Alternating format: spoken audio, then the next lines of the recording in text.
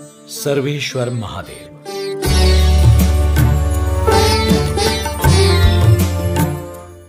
वडोदरा गुजरात 13 मार्च 2002 बात है उस समय की, जब दिल्ली में स्वामी नारायण अक्षरधाम का निर्माण कार्य चल रहा था। दूसरी ओर, बड़ौदा शहर के सुरसागर सरोवर में सत्यम शिवम सुंदरम समिति द्वारा 111 फीट ऊँची शिव प्रतिमा के स्थापना की तैयारियाँ चल रही थी। परंतु इस मूर्ति की पीठिका में प्रस्थापित होने वाले आठ शिव शिल्पों का निर्माण सिर्फ़ आठ माह में करवाना समिति के सदस्यों के लिए असंभव था। इसलिए उत्सव का आयोजन और अन्य व्यवस्था संबंधी उलझने लेकर वे सभी प्रमुख स्वामी महाराज को मिलने आए।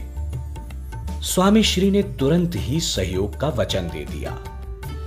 अक्षरधाम निर्माण के कुछ हिस्सों का कार्य रुकवाकर केवल छह महीनों में स्वामी श्री ने शिवजी की अष्ट प्रतिमाएँ तैयार करवा दी।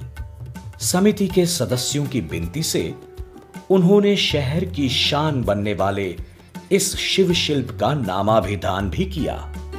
सर्वेश्वर महादेव समिति के निमंत्रण को स्वीकार करके स्वामी श्री 13 मार्च 2002 के दिन सुरसागर पहुँचे। वेदोक्त विधि पूर्वक अष्ट प्रतिमाओं का पूजन किया। और नौका में बैठकर मूर्ति की प्रदक्षिणा की।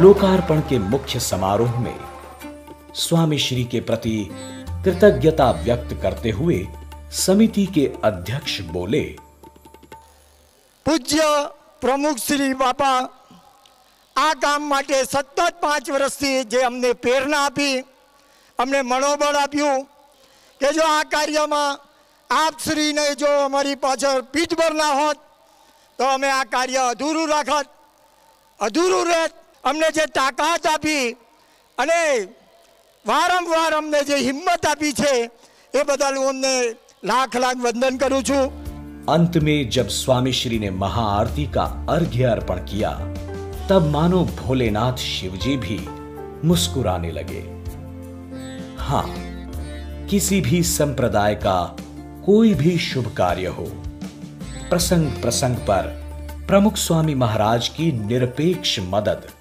और सर्वधर्म समादर की भावना सदा निखर उठती थी